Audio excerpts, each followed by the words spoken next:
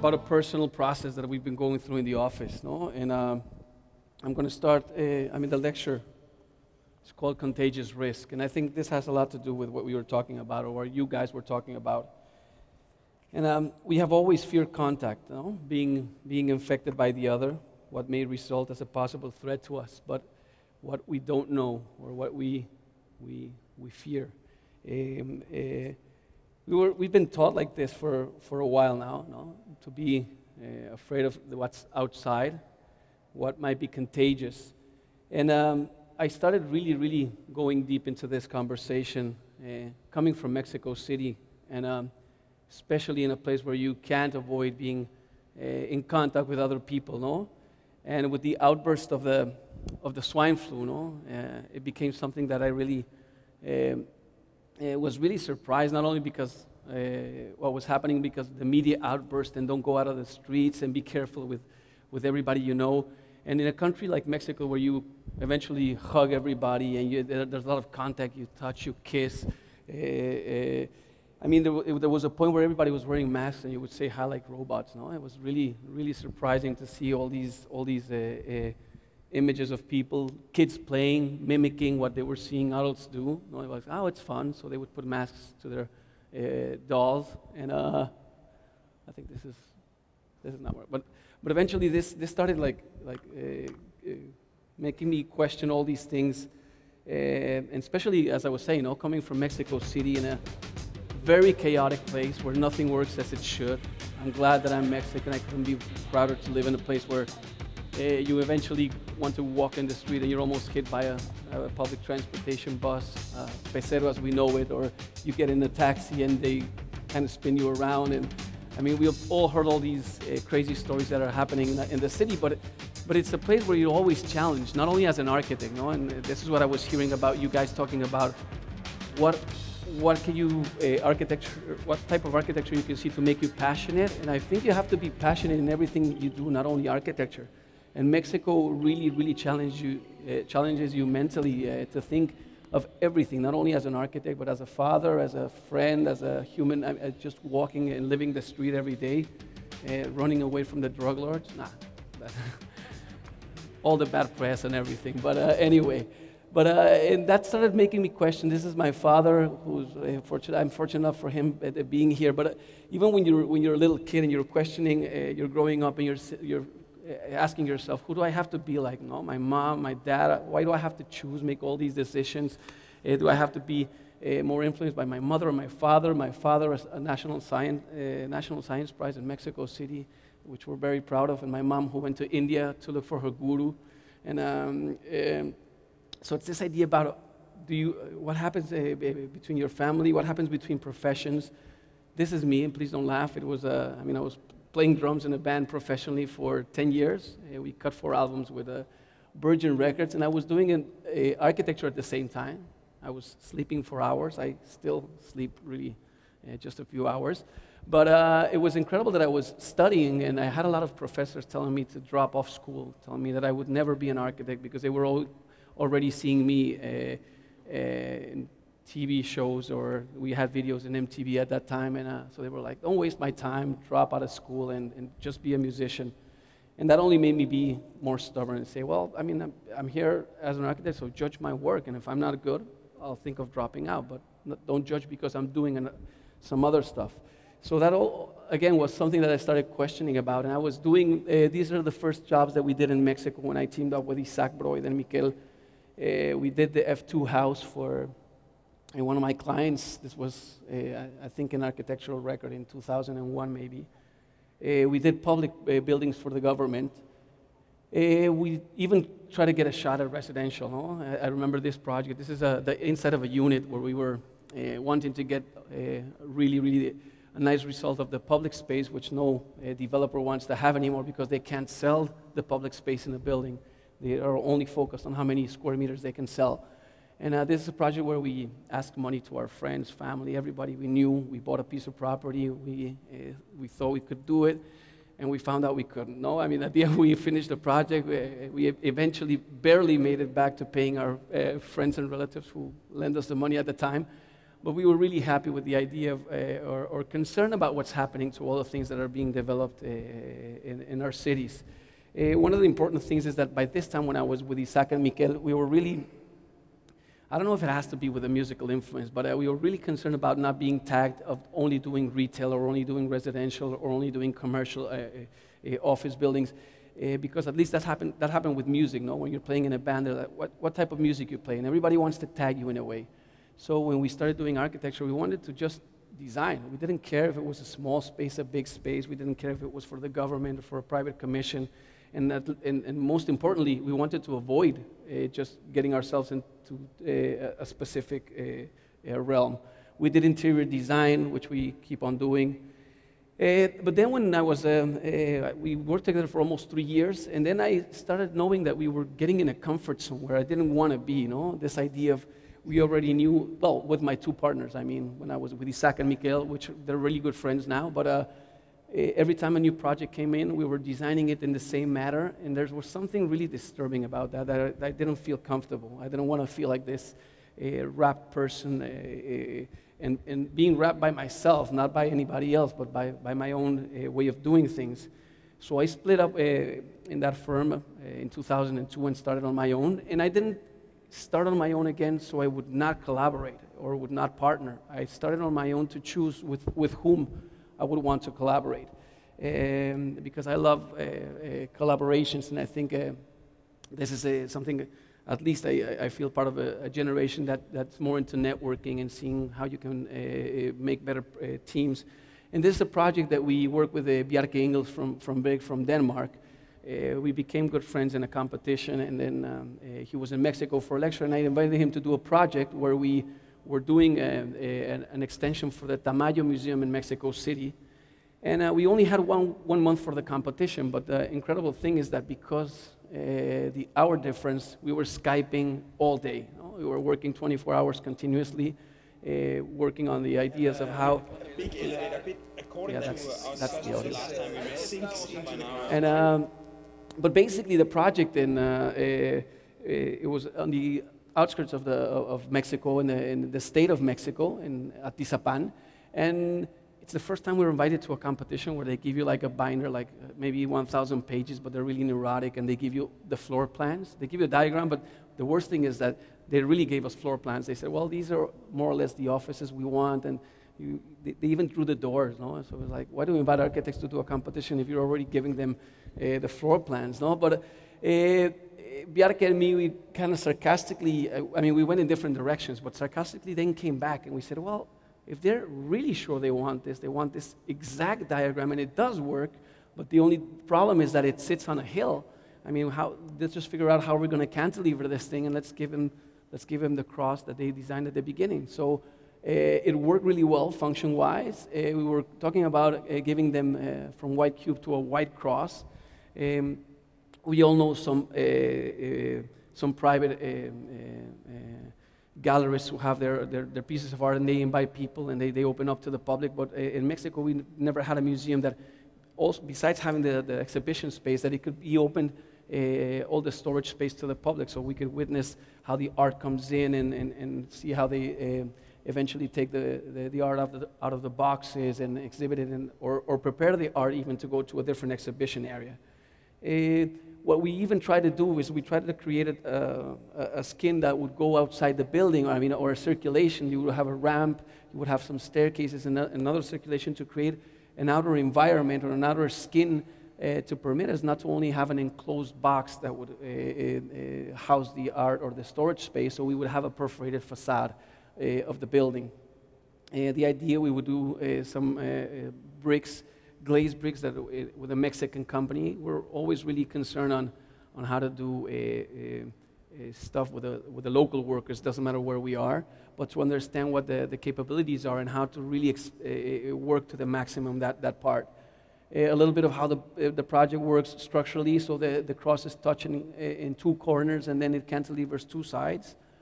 Um, that's the, where the, the, the, the, main gallery for the art exhibition would be, and um, which would eventually connect to the interior. And everything is kind of extroverted. The idea is that you would eventually, uh, again, would have open spaces that you could enclose if you want, or, or leave them as open. And the way it cantilevers over this hillside, and um, a bit of a, uh, the idea that, that we used, uh, or Bjarke has been using about creating the topography or like, like a shadow projected from the cross and create a topography like architects represented in physical models. No? So we created these staircases that go to the, uh, to the workshops and to the cafeteria, which is underneath. So you're kind of in this really nice uh, uh, protected uh, space.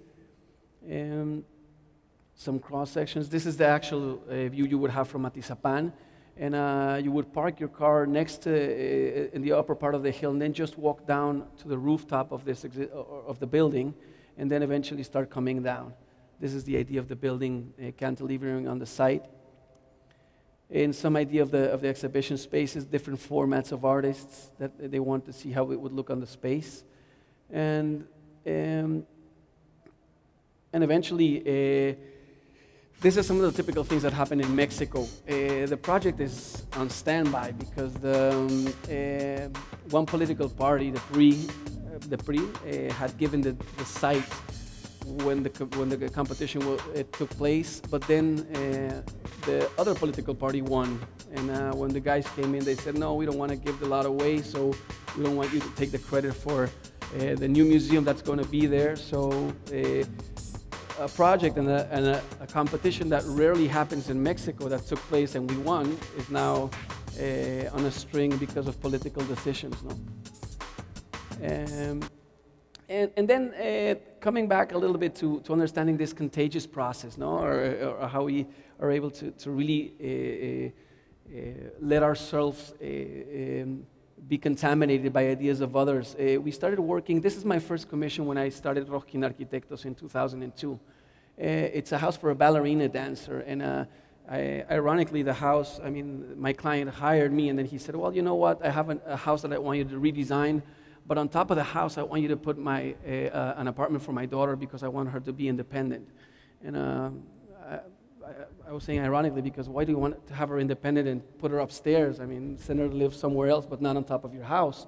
And especially don't put cameras on her house. No? But uh, uh, he insisted that he wanted this uh, house on the rooftop. And to me, that was the most exciting part because we refurbished the house, but we, it was the first time I sat down with a client and I really understood that projects they do change programmatically. No, I mean, if you're doing a house, somebody might want a bigger kitchen, a bigger bathroom, but it never changes that drastically. It's more or less the same. We haven't changed that much uh, in the way we live, but uh, what, what does change is the client sitting in front of you, and we normally, or before I didn't pay much attention to that. I would just hear the program.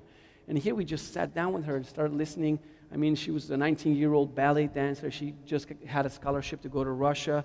And uh, it was mind blowing uh, uh, how I, I, came back to really understanding how I would design because I remember coming out from school, I would have my, my uh, sketchbook and a pen in my pocket, which I normally still carry. But uh, if I was with a client, I would never listen to the client. I would hear him like, wah, wah, wah, while you were sketching all your ideas because you think you have all these brilliant ideas in your head. And, uh, and I understood that, that by this point in 2001, I wanted it to become a process where I really fed off the client, of the budget, of the timeline, of everything that really was important. And if I was not able to give them a program that really worked in the best way possible, then I was not really an architect, no. So I, it's not that I would take for granted the program, but I would really focus on more of the other parts to understand what uh, I really could uh, give my client. And for instance, the, the house that sits on, it, it, has a split level, and the reason why it has a split level is because there was a maid's quarter on top of the house. And uh, so there was a, already an existing bump, so we placed the public part on top of the bump, and then the private part came half level, half level down. Uh, this is the house sitting on top of the, the father's house as he wanted. and um, a very simple floor plan, no, 140 me- square meters. And we were working on the house, and something that, that really uh, um, was also uh, very important to me at that time, or really shifted me in, in different directions, is I think we always we always tend to complain where we come from, no? There's always something wrong where, where we're from, no? Ah, things don't work as we want, and we don't have these great companies, there's not really good clients. And I was one of those also, no, at some point. And, uh, but then I started understanding that really Mexico was an incredible place to build because you have labor, wor- labor. I mean, the guys that work in not only architecture, but in different industries, they really do a good job. So when we were working on this project, I remember uh, we had a steel frame. We were covering the, the, the steel I-beams with, a, a, a, with steel panels. Obviously, we put some acoustical and thermal isolation, all the technical stuff that uh, you could see in, in, in, in, the project if you find it in the internet or, or in publications. But what was important is that we came to a point where, where the, the steel was not as I really expected it to be. So I remember going to this place in Mexico called Colonia Doctores. And Colonia Doctores is, is a place where, if, uh, when I was borrowing my father's car for the first time and he would uh, not know about it, uh, and my mom would give it, say, okay, go before your father comes back. And I would crash it or scratch it in a way. You would take it there, and like in 40 minutes, they would really uh, polish it and leave it, leave it spick and span. They would take the bumps out while you were having some tacos in the corner. And then uh, you would come back and nobody would notice that you crashed the car, no? So uh, I remember these guys, and ironically, I said, why don't I go look for them, bring them to the construction site, and see what happens, no? And uh, I did go pick these guys up. We went to the construction site. Everybody thought I was crazy. The, the original contractor who thought he was doing a great job, because also in Mexico, the contractors believe they can do everything. No, they're not specialists in everything, but they said, ah, steel, don't worry, we'll do the best job you can ever imagine. And uh, when we brought these guys in, they really, really worked the, the, the, project in an amazing way. And I got it cheaper than the original budget. And, uh, and I was really excited to really uh, be swirling a little bit of, the, uh, uh, of what my head was uh, thinking of only the architectural solutions. No? So this is another thing for you guys to think that you don't only have to think what happens in, in architecture. No? You, you, have to open up your minds to what's happening around you, especially what happens in the places that you're going to be working. And this is how the, the, the house sits uh, on the uh, crazy site in Tecamachalco in Mexico.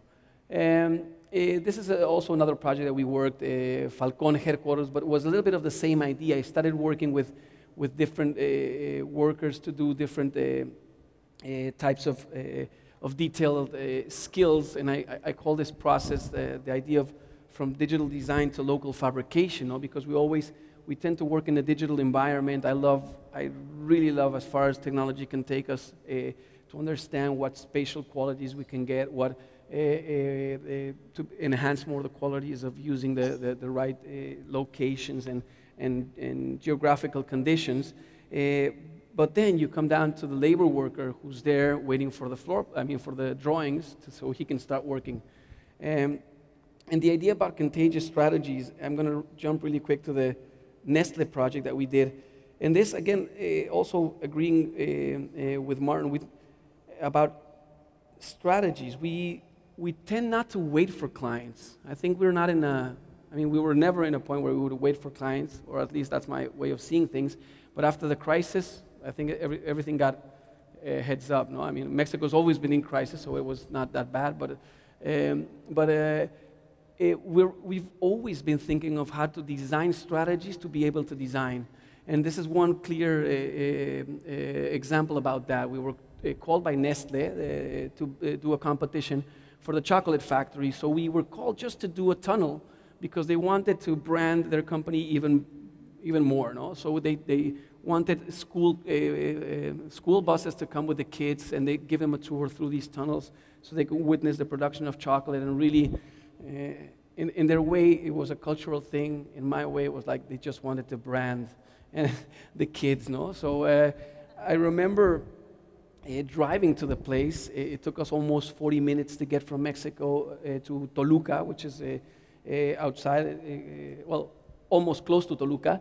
And I really got depressed because I was imagining a kid going on a school bus, driving for 40 minutes, imagining Willy Wonka or something fabulous in a chocolate factory, and then just hitting a generic factory after another in a really awful site, which is really, really industrial. So instead of um, instead of uh, not doing the competition or, or just saying, oh, we could have done something else, we did do something else. We did some research and we came back to the client and we said, okay, this is what you wanted, but give me one more minute and I want to present to you another thing. And we told him, well, this is your drop off. This is the gray part in the, uh, that you see here is the, the tunnel, the bridge that they wanted. But we were aiming to do a new project where we said, we calculated how many cars pass through this important uh, freeway that connects Mexico to Toluca. It has like four lanes. Uh, uh this is one of the side lanes, but it has four lanes with almost 16, 16 uh, uh, car lanes both ways. We told them that it would be incredible if we had a chocolate museum, which ironically, again, Mexico, where Aztecs invented chocolate as a trading method, and then, as we know, the Spaniards took it away, and then 100 years later it was brought back sweetened, as we all know chocolate today why didn't we have a museum of chocolate? If they really wanted to uh, brand uh, the company as a cultural uh, um, or, or, to do something cultural for society, why not really, really do it and do a, a chocolate museum? Um, fortunately, the vice president got really excited with the presentation. He went to Switzerland, he presented. He came back and he, he told me uh, one good news and one bad news. The good news is that we were going to do the project, not, not complete only the entrance of the project with a, with a bit of, with some part of the cultural, uh, the, the, I mean, uh, a theater and a, and a store at the, uh, and the entrance and, and continue on phase two later. But the bad news is that we had two months and a half to do the project. Uh, uh, I thought two months and a half was not bad if we hired, I don't know how many hundreds of people to help us do all the drafting and the CDs. And he said, no, two months and a half to have it built because they were going to have an opening. And uh, we, I, I, always joke that we passed from the small scale to the bigger scale to the one-to-one scale on site. We moved almost all of the office, uh, well, all of the office, I think. Now we're the most that we've ever been, and we're 20. So by this time, I think we were nine at the office. And uh, we, we moved part of the office there. And uh, some of the drawings that you see here were literally finished when we finished the project. So uh, it was, you had to make decisions on site, which I love. I, I, I love being on site because I, am one of these uh, uh, obsessive architects that believe that everything you draw, it has to be built. No, I, I, I, I don't get easily satisfied by just having a cool render. No, I get really frustrated when projects don't get to happen. But uh, this is a little bit of the floor plan uh, when you get in the entrance, and you, you will notice like a really, really raw cut section here. And uh, we did it, our, uh, uh, that was the intention so we could understand that that was the part that was going to continue afterwards. And again, these drawings that were finished later, cross sections. And this was a, a little bit of the idea pour the foundation in concrete would really, so we could really uh, drive fast with, a, with all these new products that you have, and then have the steel structure uh, um, be cut on site, do a main prelim primary structure, secondary structure, and then be covering the skin. Um, this is uh, how the site looked. Here you see the, the, the I-beams even on the floor uh, as they were being cut. We were tracing them on the floor, and uh, the iron workers were there. It, it, was, it was literally really, really crazy because it was, uh, we had people doing eight-hour shifts. So if you would explain something to the iron workers or to the steel workers, uh, you would have to come back eight, eight hours later to explain to the next shift because obviously the other guys went to sleep. And then you, were, uh, you had to, I mean, really have uh, good communication with the people on, on, on site. And, and as I was explaining, make them understand how to do things that, I mean, these workers in there, they were thinking that uh, they didn't know, uh, they didn't understand the drawings. We were taking them, bringing them physical models. We were giving them rendering so they can understand the project. And uh, it took us a little time, but after uh, bonding with all of the workers, we actually eventually got them working in the right direction, especially for the amount of time that we had. Um, I always say that Murphy's Law is real, no? Uh, the two months and a half we had were, were, were a disaster, no? It was not rainy season and it rained. Everything that could happen, it, it happened. And uh, I love the chaos of the images. I, I, remember showing these images to some friends uh, in Europe, and they're like, "But the, the, site is a mess. This is a disaster. They would shut down a site like this in any other part of the world, no? But, uh, but this, is, this is Mexico, no? I mean, that's the, the, the beauty of the, of, the chaotic uh, uh, environment. But anyway, we were doing acoustical and thermal isolation. And we were finishing almost the project. Uh, we used materials that uh, uh, the companies had in stock. We, we didn't even have time to, to um, uh, choose a, a, big selection of, of, of, things. But that was a good trade off because, on one hand, you have a client telling you you have to finish in a certain amount of time. And on the other hand, you tell them, okay, we can do it, but you can't blink. I mean, you can't even say you didn't like the, the, the lighting fixture because I'm not, I'm not going to have time to change it. So that's a good trade off. No, you get to do a project where the client trusts you to, to finish from, from uh, the beginning to, to, to, the opening. This, this is our staff. They were really, really excited about uh, finishing uh, the project. We were almost, almost on time. And this is the, the day of the opening. And this is our friend, which, uh, again, uh, a little bit of what happens in Mexico. Until that day, I really found out why we needed to finish in two months and a half. This is Enrique Peña Nieto, the governor of the state of Mexico, and he's possibly going to be our new president. And uh, he had done a deal with Nestle that if he could give his political speech in two months and a half, uh, Nestle would not need permits to build the new uh, addition to the company. So uh, here you see my friend Pierluigi with a really fake smile, like saying welcome. And this was when, when Nina was, uh, uh, my daughter, who's also sitting here in front, she was two years old by, by then, not two, three, almost three.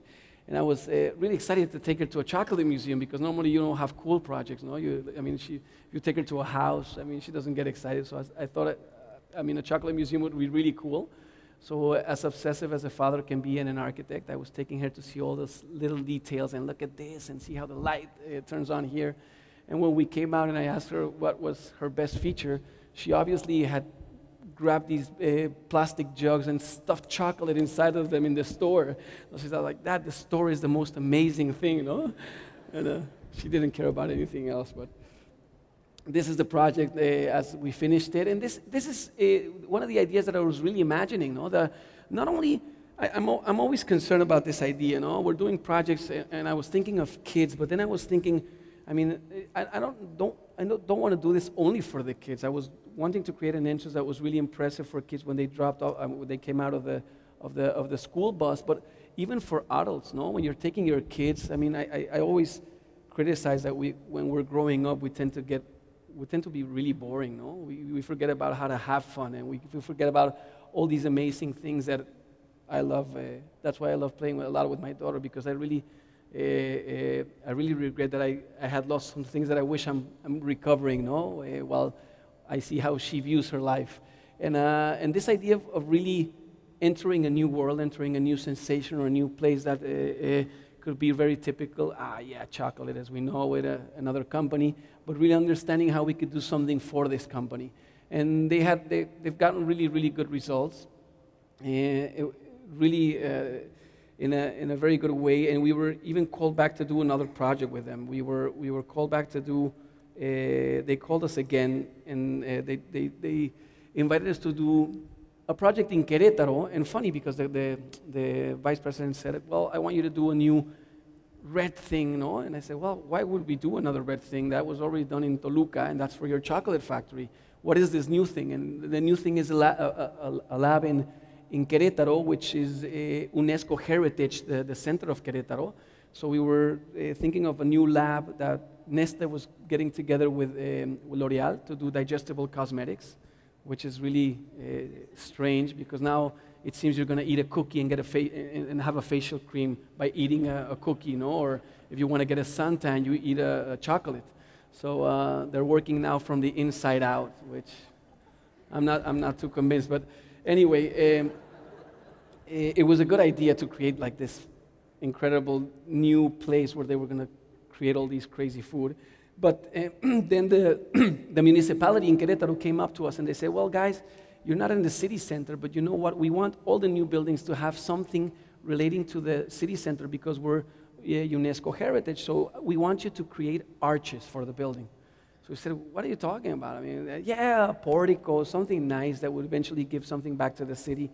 And uh, at some other point in, our, in my life, I would, I would have said, no, I mean, I have an incredible friend that does really cool arches and porticos, and I'll introduce you to him because we don't do porticos or arches, no? But I think now we like the, the idea that taking elements that before we never, uh, I, I, mean, not that we didn't appreciate, but we didn't have the, the, the vision of seeing how we could do reinterpretations of things.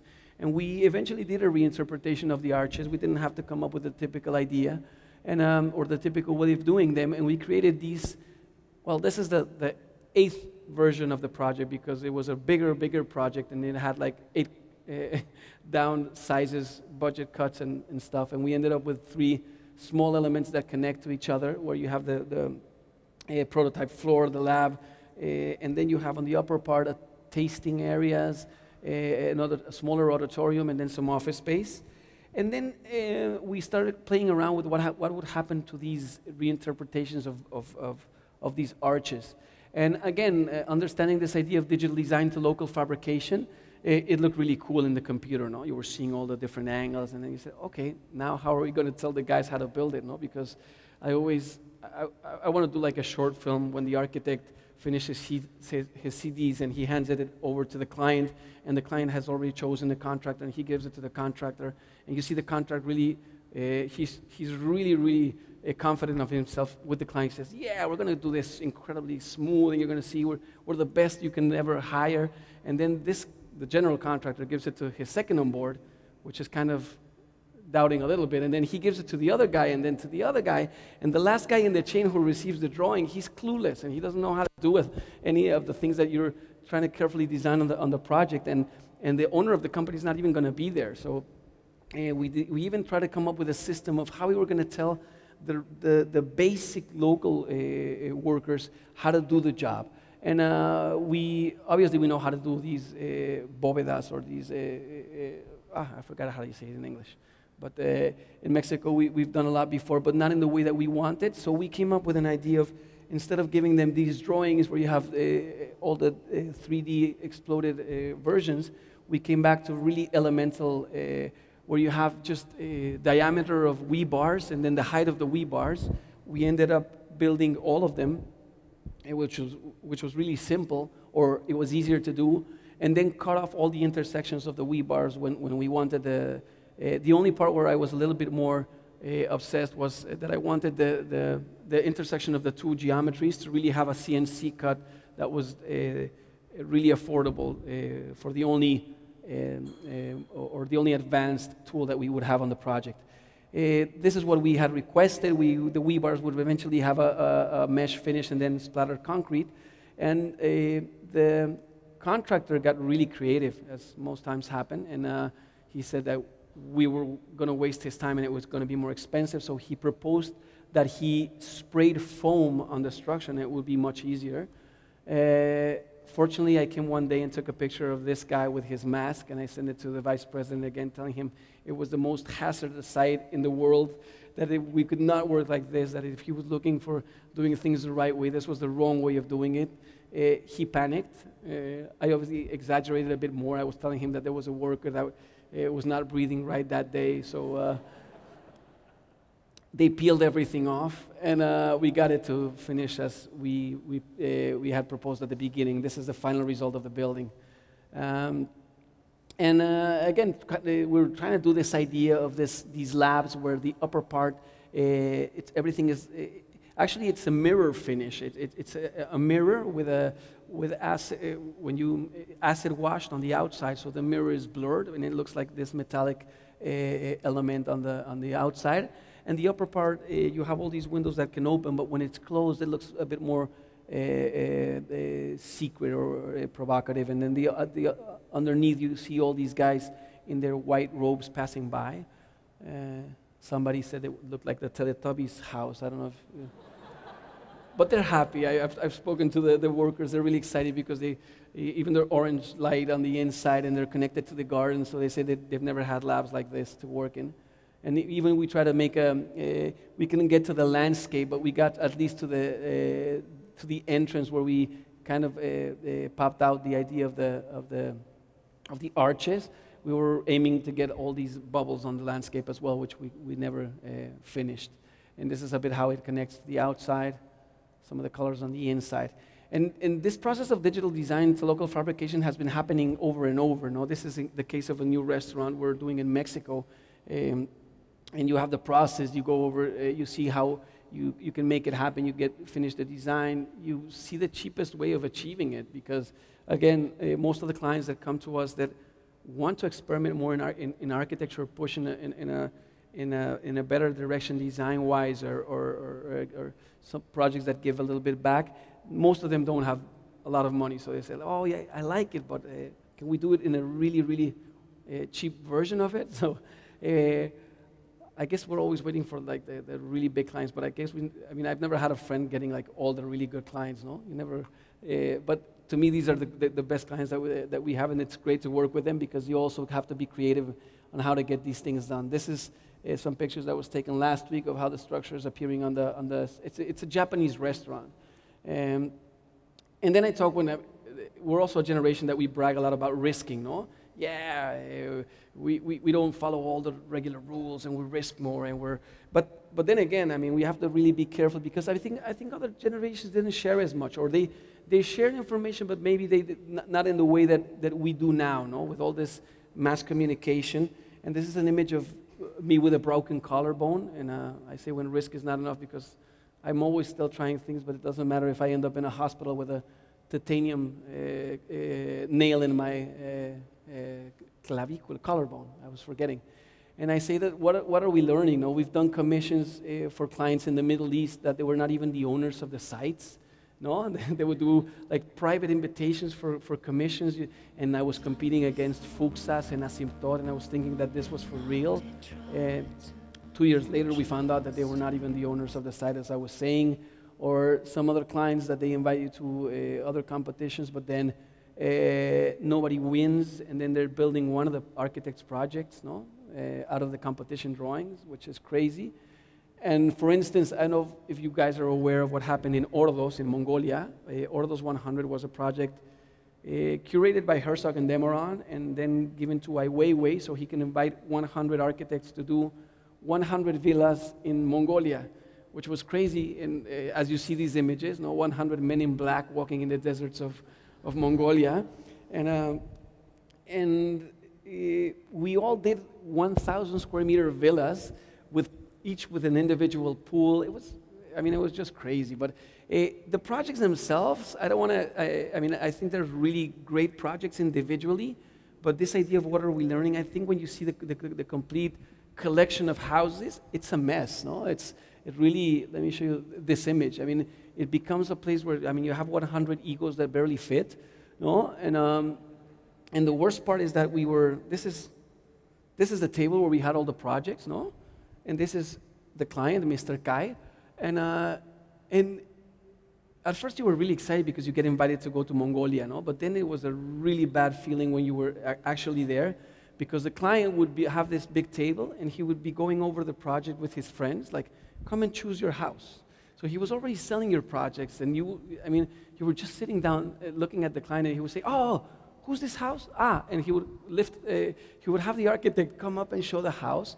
I mean, he was pimping us, no? And I mean, he was just waiting for your turn, sitting down. It was, it was, a, I mean, a really bad experience. I mean, uh, we had a good time because of all our colleagues in the same place, and we talked up. We, we finally catched up with, with what everybody was doing. But uh, uh, in the client's perspective, I don't know if uh, it, it, was a thing that I would want to do again. But it, the idea or the important part for me uh, of this process was, was really what are we learning of, of, of these final results, no?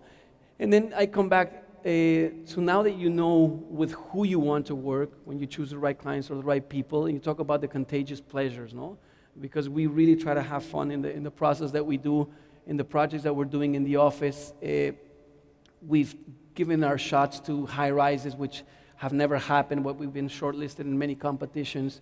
Fortunately, uh, now we're, we're doing our first high rise in Mexico City, and uh, uh, it's a 200, uh, high, 200 meter high tower, which is a mixed use building. And to be honest, I think that the, the most, uh, the, the part that has me, or the part I'm mo most happy about is that there's a side street that was a, blocked street that we're making it a pedestrian street and we're connecting it uh, to a part of the city which links Reforma Avenue, which is this new avenue in Mexico, and uh, it, it really starts creating a public realm underneath. And this is some of the images of the tower from the bottom part. I mean, obviously, I'm excited about doing a high rise as well, no? but uh, uh, especially in the times, uh, uh, I mean, crisis times. No, this is how the tower is going to look from the bottom the idea of the, of the facade comes from the, from the units on the inside. All the units have this glass pushed forward, so you get like two accentuated views to the sides. So all these triangle shapes actually are accentuating the views from one side to the other. Um, and we were really thinking of doing a, a really urban building. I think in Mexico, uh, we, the, the, highest building or the tallest building we have is Torre Mayor, and it looks like a generic building uh, from any other uh, country, no? And uh, And the, the taller buildings we have, they don't even look like a skyscraper. No, they're like uh, a regular sized building, but on steroids. No, they just stretch them, but they're not really designed to look like a, a skyscraper. So we, we really went over this one back and forth to make it uh, really look like a building that would stand uh, as a new urban uh, project in, in our city. This is La Diana, this is roundabout in front of you have also St. Regis there. And this is a place where zoning just recently changed about six months ago. And it was only, as you see the adjacent buildings, it was really small. And now it's from four stories, I mean, from 40 stories. Uh, uh, you can go even higher depending on, on the, the area you are. We're 52 stories on this one. And and just to close up, I want to show you a new project. This is a new company that we built, uh, or that we founded uh, from scratch. And we, we opened up this, comp- this company exactly on the time of the crisis, the economical crisis. And we created a company because we didn't want to be numb or we didn't want to be uh, uh, pushed down by the crisis. We didn't want to, most of our friends were really depressed. They were really complaining about everything that's happening and now we're not going to work anymore and the, i mean it's useless to have an office now and i mean we all saw some friends shut down their offices but uh, to us it was more important to be uh, to have your, your mind exercised no not to not to think uh, all the the, the, the, bad things that were happening but try to keep it working in a very in a different way i'm not talking only optimistical but but keep it working no because if your mind stops to me that's the end of, the, of your of, of your work. And Agent is a company that focuses on, on disruptive design. Uh, I teamed up with an industrial designer and we were working uh, to see or, or, looking for things that were out there but nobody questioned. No? So we questioned, um, we questioned uh, a soccer ball. We were questioning, and this was way before the World Cup, but it came out during the World Cup. We're questioning why, why nobody has done anything with the soccer ball. It only changes the, the, uh, the, the, uh, the graphic design on the outside, or maybe the stitches you don't see anymore, but it doesn't really evolve from that. So we created a, a transparent soccer ball that you would eventually, first of all, it's an airless soccer ball. We're using technology with polymers and elastomers that you already have in, in, in cars. That they first started experimenting it for war, obviously, you know, the, the tires that don't get uh, flat if, if they're punctured by a, by a bullet.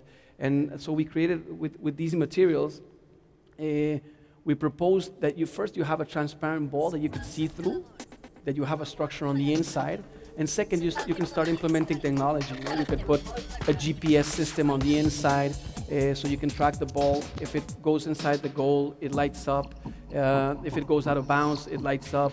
Uh, it has a thermal pattern, material also on the outside. If somebody touches it with the hand, you know it was touched by the hand and not by some other fabric. And um, so now we're, I mean, we presented it before the World Cup. Obviously, FIFA doesn't want any technology, as we all know, when we saw what was happening. But, but we're really uh, excited with the idea of, of having these uh, kind of products just come out and, and see what happens, no? and see. We're already talking to Nike, we're talking to Adidas as well, and uh, we're figuring out who we'd really want to team up in the company. And, uh, and the incredible part is it's still design, no? It doesn't matter the scale. Uh, and with this, I, I want to close just saying that uh, we don't want to work in isolation. No, I don't believe working in isolation. And we, I also uh, want to reinforce what you guys were talking about at the beginning of, uh, uh, of the talks, that uh, don't sit and wait. And don't wait or don't expect somebody to tell you how things work better or not. Question them and just go out there, no? Don't work. I, I, I know there's a lot of people that do work really well in isolation. They they're really well working in their office. I, I would never be able to perform like that. I'm always hooked up on the internet, on Twitter, every, I mean, uh, with all my colleagues asking how they're managing their offices, how they're managing their product, their, their projects. And um, it's really interesting because then you get re- real life feedback from colleagues that are working in some other country and uh, are complaining about the same things or understanding how to do the, the same things. Uh, I want to break more bones. um, and I want to feel alive and risk. And I want to close just by saying that nevertheless, we know that without contact and, of course, a certain contagious risk, life does not endure, it does not change, it does not reproduce. And in one word, it does not live. I want to jump out in the open. Thank you. Michel, thank you for being here and for these wonderful, stupendous presentations. You're both rock stars. You're great. I'm sorry to say we have really run out of time. We cannot do the Q&A session, um, but please join me in thanking Michel and Martin for their great presentation.